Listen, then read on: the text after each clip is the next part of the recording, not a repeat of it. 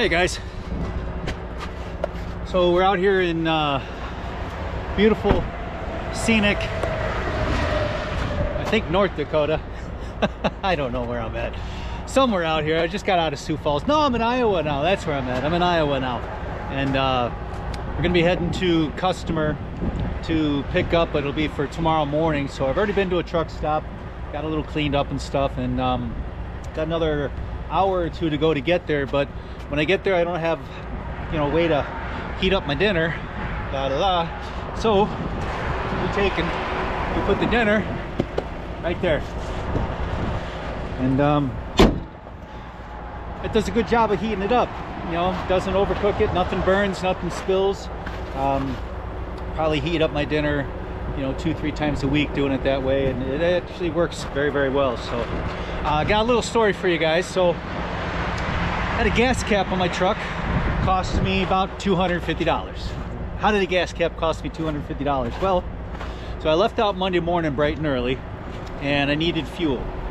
So after about 150 miles I get up into Wisconsin and uh, go ahead and fill up my tank fill up my main tank on my on my truck and fill up the auxiliary tank auxiliary tank's a 90 gallon tank right fill that sucker up now it is a gravity feed tank but never had any issues with the gravity feed so um, I drive for about another two and a half hours, something like that. I was about 150, 160 miles and I get to my first stop and um, I hear water running. Like, what the hell?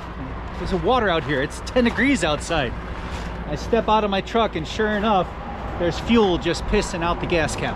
Just pissing out the gas cap. And I'm like, oh man, I must not have tightened it. I run over there, tighten it, go click, click, click. Thing tightens up, stops leaking.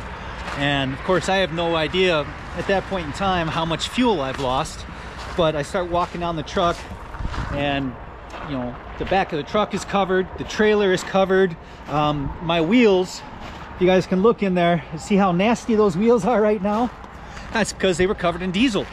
And it just attracted all the dirt and these roads are filthy and I haven't uh, haven't found a truck wash yet. Of course it's always been around zero here uh, where I've been running up north. So anyway I figure I'm just a dumbass. And um, so I'm driving a couple hours later and all of a sudden my main fuel gauge it starts going down which means okay my tank's empty. I had already gone only gone like four 450 miles so I had about 500 or so miles that I should have gone before my tank got empty somebody heavy hauling making some noise out there but uh, so I dumped probably 50 maybe 60 gallons of fuel uh, out on the highway but here's the thing I get to my next stop and I go to my gas cap.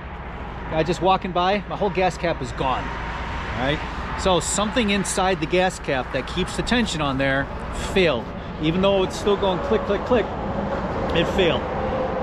Dumped 50, 60 gallons of fuel, four bucks a gallon. And, uh, you know, it was expensive.